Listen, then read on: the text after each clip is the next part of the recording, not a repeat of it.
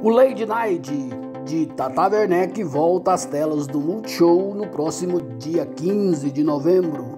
O Multishow já começou a divulgação com uma entrevista de Tata com ela mesma. Sexta temporada do programa.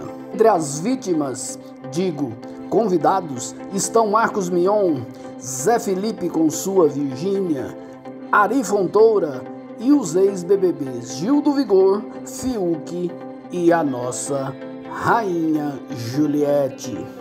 Oi, meus amores, adivinha onde é que eu tô? Aliás, vocês já estão vendo onde eu tô. Com a Tata Werneck no Lady Night. Vai ser muito engraçado, eu tô muito feliz. Pelo momento e sucesso nas redes, a audiência deve continuar alta. Nessa faixa de horário, é uma das maiores audiências do Multishow.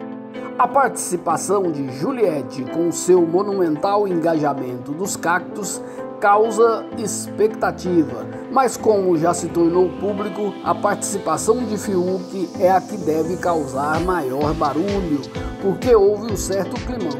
O papo não fluiu como esperado e, de acordo com a imprensa, a entrevista dele quase foi descartada. A sexta temporada foi gravada em agosto e deve garantir boas risadas para o público. O programa também deve chegar no primeiro semestre de 2022 na grade da TV Globo, com menos episódios e as entrevistas editadas para se adequar ao público da TV aberta. O Late Night vai ao ar de segunda a sexta-feira, sempre às 23h15, a partir do dia 15 de novembro feriado no Brasil.